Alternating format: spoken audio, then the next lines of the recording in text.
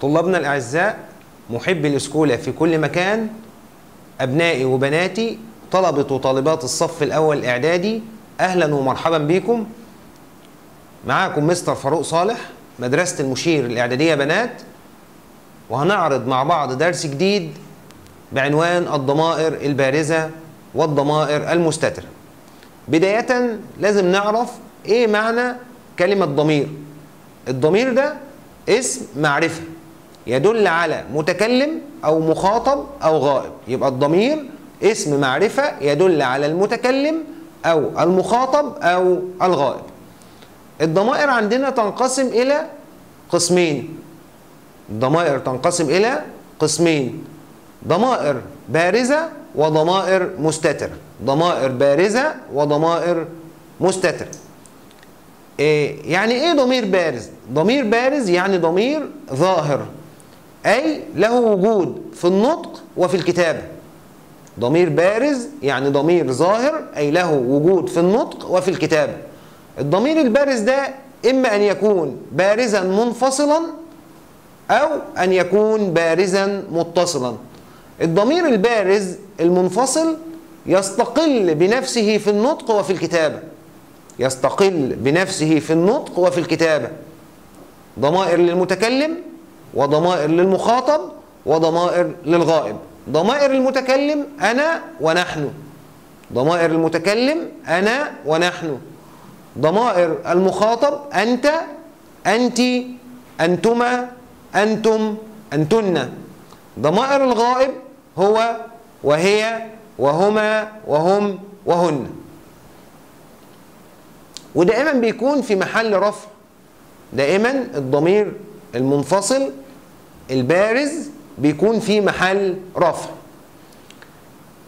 النوع الثاني الضمير البارز المتصل بيتصل بالكلمة ولا يكتب مستقلا ولا ينطق مستقلا. يبقى الضمير البارز المتصل يتصل بالكلمة لا يكتب مستقلا ولا ينطق مستقلا. مثل ياء المتكلم نا الفاعلين كاف الخطاب هاء الغيبة عندنا كمان تاء الفاعل نون النسوة ألف الاثنين واو الجماعة ياء المخاطبة. وهو يقع في محل رفع أو في محل نصب أو في محل جر في ضمائر رفع وفي ضمائر نصب وجر. النوع الثاني من الضمائر الضمائر المستترة. الضمير المستتر ليس له وجود في النطق ولا في الكتابة. يعني مش بنطقه ولا بكتبه ولكنه يفهم من معنى الكلام. ودائما الضمير المستتر يقدر بعد الفعل. الضمير المستتر يقدر بعد الفعل. تعالوا مع بعض نشوف أمثلتنا على الدرس وشرحنا للدرس.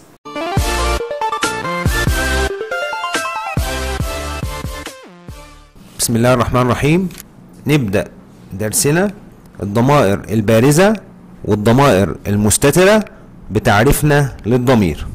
إيه هو الضمير؟ الضمير اسم معرفة يدل على المتكلم أو المخاطب أو الغائب.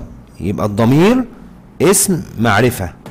يدل على يدل على متكلم أو مخاطب أو غائب. بعد كده ننتقل لأنواع الضمائر. الضمائر تنقسم إلى قسمين ضمائر بارزة وضمائر مستترة. ضمائر بارزة وضمائر مستترة. أولا الضمائر البارزة. الضمير البارز هو الضمير الذي له وجود في النطق أو في الكتابة. الضمير البارز هو الضمير الذي له وجود في النطق أو في الكتابة. وينقسم إلى قسمين. يبقى الضمائر البارزة تنقسم إلى قسمين. ضمائر منفصلة وضمائر متصلة. الضمائر المنفصلة تنقسم إلى ثلاثة أقسام ضمير متكلم ضمير مخاطب ضمير غائب. نيجي لضمائر المتكلم. إيه هي ضمائر المتكلم؟ أنا ونحن. ضمائر المخاطب أنت انت أنتما أنتم أنتن. أنت للمفرد المذكر أنت للمفردة المؤنثة أنتما للمثنى بنوعيه مثنى مذكر ومثنى مؤنث. أنتم جمع المذكر أنتن جمع مؤنث. ضمائر الغائب هو مفرد مذكر هي مفرد مؤنث هما للمثنى بنوعيه هم لجمع المذكر وهن لجمع المؤنث. نأتي بعد كده للضمائر المتصلة وهي ضمائر الرفع وضمائر النصب والجر. نبدأ بضمائر الرفع يبقى ضمائر متصلة تنقسم إلى قسمين ضمائر رفع وضمائر نصب وجر. ضمائر الرفع تاء الفاعل نون النسوة واو الجماعة نا الفاعلين ألف الاثنين يا المخاطبة. أما بالنسبة لضمائر النصب والجر يا المتكلم كاف الخطاب نا المتكلمين هاء الغيبة. ثانيا الضمائر المستترة. في ضمائر للمتكلم في ضمائر للمخاطب في ضمائر للغائب بتقديرها. أنا ونحن للمتكلم للمخاطب أنت أو أنت للغائب هو وهي. نشوف أولا الضمائر المنفصلة. الضمائر المنفصلة ضمائر المتكلم. أنا للمفرد المذكر أو المفرد المؤنث المفرد المؤنثة. أنا تلميذ مجتهد. أنا هنا ضمير متكلم للمفرد المذكر. أنا تلميذة مجتهدة. أنا هنا ضمير متكلم للمفردة المؤنثة. الموقع الإعرابي للضميرين في محل رفع مبتدأ. في محل رفع مبتدأ. الضمير الثاني نحن. نستخدمه للمثنى بنوعيه وللجمع بنوعيه. مثنى مذكر ومثنى مؤنث جمع مذكر وجمع مؤنث. نشوف الأمثلة بتاعتنا. نحن مصريان. مثنى مذكر. نحن مصريتان. مثنى مؤنث. نحن تلاميذ مجتهدون. جمع مذكر. نحن تلميذات مجتهدات جمع مؤنث. ننتقل لضمائر المخاطب. أنت مفرد مذكر. أما أقول أنت طالب متفوق أنت ده ضمير بخاطب به المفرد المذكر. أنت للمفردة المؤنثة. أنت طالبة متفوقة. أنت بخاطب به المفرد المؤنث. أنتما للمثنى بنوعيه مثنى مذكر ومثنى مؤنث. أنتما طالبان متفوقان. هنا استخدمت الضمير. ها للمثنى المذكر. لما أقول أنتما طالبتان متفوقتان استخدمت الضمير للمثنى المؤنث. نيجي الأنتم بستخدمها لجمع المذكر أو بستخدمه لجمع المذكر. الضمير أنتم بستخدمه لجمع المذكر. أنتم طلاب متفوقون الضمير أنتم. بخاطب بيه جمع المذكر. أنتن لجمع المؤنث. نشوف مثال. أنتن طالبات متفوقات. كل الضمائر اللي أشرنا إليها دي وذكرناها في الأمثلة في محل رفع مبتدأ. أنت أنت أنتما أنتم أنتن. ضمير مبني في محل رفع مبتدأ. ننتقل لضمائر الغائب. هو للمفرد المذكر هي مفرد مؤنث هما للمثنى بنوعيه مثنى مؤنث ومثنى مذكر هم لجمع المذكر هن لجمع المؤنث. هو مجتهد هو مجتهد. عند الضمير هنا. هو ضمير مبني في محل رفع مبتدأ. هي مجتهدة برضو هي ضمير مبني في محل رفع مبتدأ. هما مجتهدان أو هما مجتهدتان. هنا مثنى مذكر وهنا مثنى مؤنث. هم مجتهدون لجمع المذكر هم مجتهدون لجمع المذكر هن مجتهدات جمع مؤنث. يبقى الضمير هنا هن لجمع المؤنث. الموقع الإعرابي لكل الضمائر اللي موجودة قدام مني ضمير مبني في محل رفع مبتدأ. ضمير مبني في محل رفع مبتدأ.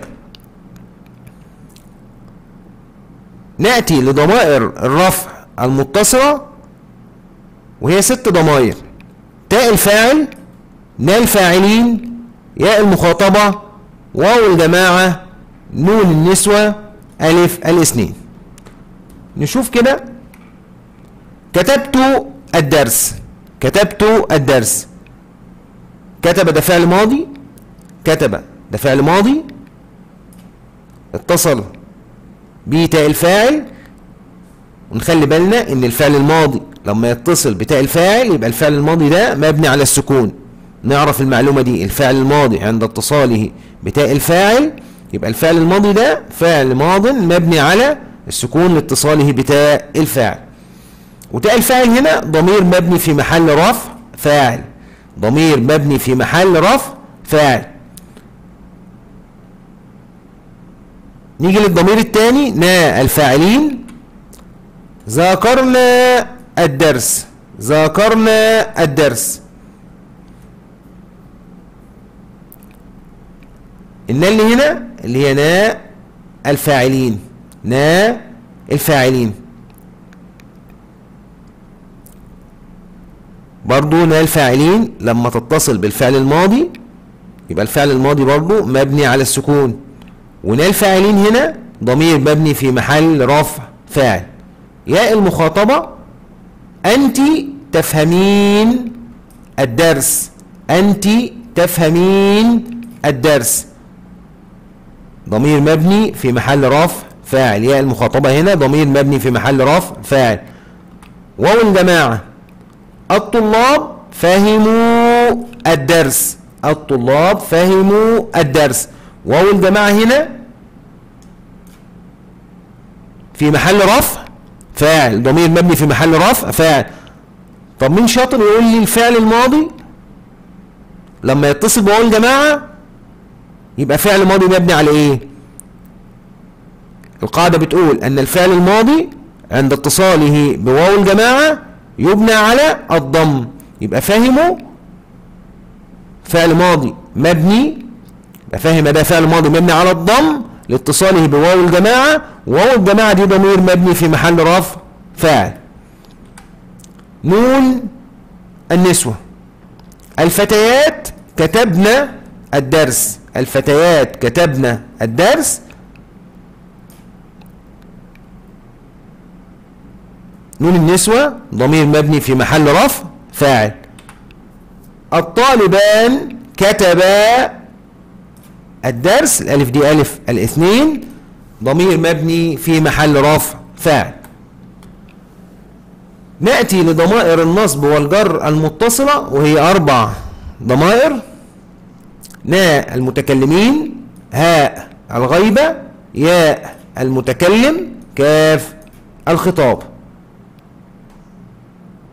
نبدأ بناء المتكلمين. كتابنا رائع. كتاب ده اسم ولا فعل؟ ده اسم. اتصل بيه نا المتكلمين. إحنا اللي بنتكلم عن كتابنا. تمام؟ يبقى نا الضمير ده موقع الإعرابي ضمير مبني في محل جر مضاف إليه. طب من الممكن إن الضمير اللي هو نا المتكلمين يتصل بفعل مثال على كده أعجبنا الكتاب. اعجب ده فعل ماضي. والنا ضمير نا المتكلمين في الحالة دي إعراب الضمير ضمير مبني في محل جر آسف ضمير مبني في محل نصب مفعول به. ضمير مبني في محل نصب مفعول به. الضمير الثاني هاء الغيبة. أحمد كتابه نظيف. الهاء دي عايدة على مين؟ على مين؟ على أحمد. هاء اتصلت باسم تبقى ضمير مبني في محل جر مضاف إليه.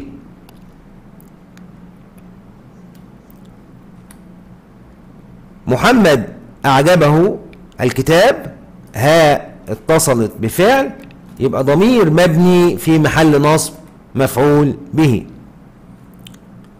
الضمير الثالث ياء المتكلم من الممكن إن هو يتصل باسم برضه واقول مدرستي متطورة. مدرستي الياء دي ياء المتكلم. بتكلم عن مدرستي. يبقى ضمير مبني في محل جر مضاف إليه. أما إذا اتصلت ياء المتكلم بالفعل مثال على كده أعجبني شرح المدرس. أعجبني شرح المدرس. الياء دي ياء المتكلم. ياء المتكلم عند اتصالها بالفعل هتبقى ضمير مبني في محل نصب مفعول به. كاف الخطاب إجابتك صحيحة ضمير. بكلم واحد بقول له إجابتك صحيحة بكلم الطالب بقول له إجابتك صحيحة. كاف اتصلت باسم يبقى على طول ضمير مبني في محل جر مضاف إليه. أما عند اتصالها بفعل أعجبك الكتاب هتبقى ضمير مبني في محل نصب مفعول به. نأتي للضمائر المستترة. وعرفنا الضمير المستتر وقلنا إن الضمير المستتر ليس له وجود في النطق ولا في الكتابة. طب أمال إحنا بنعرف الضمير المستتر إزاي؟ يفهم من معنى الكلام. يفهم من معنى الكلام. ويقدر دائما الضمير المستتر بعد الفعل. يقدر دائما نخلي بالنا قوي من الحتة دي يقدر دائما الضمير المستتر بعد الفعل. نشوف كده الأمثلة اللي قدامنا.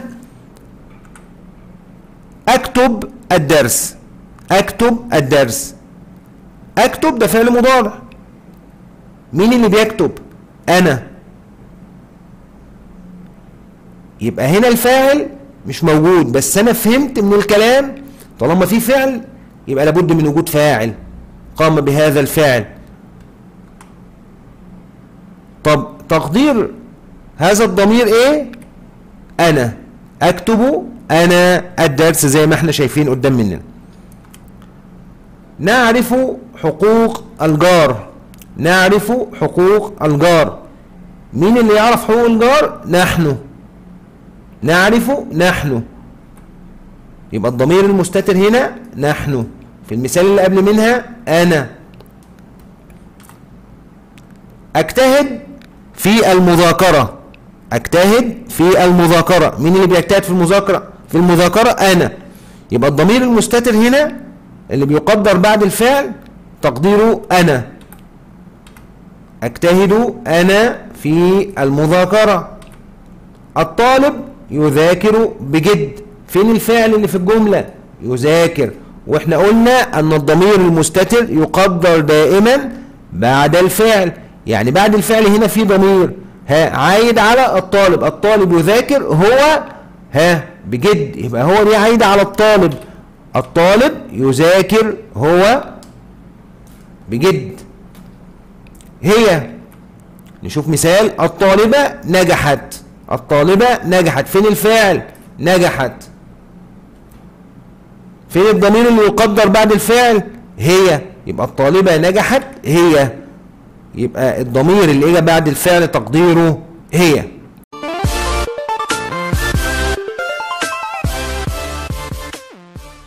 وبعد ما انتهينا من شرح درسنا الضمائر البارزة والضمائر المستترة يا رب نكون فهمنا الدرس كويس.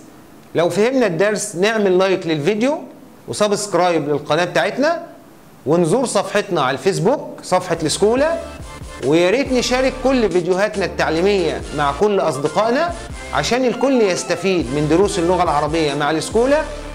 أشوفكم على خير في درس جديد. معاكم مستر فاروق صالح مدرسة المشير الإعدادية بنات.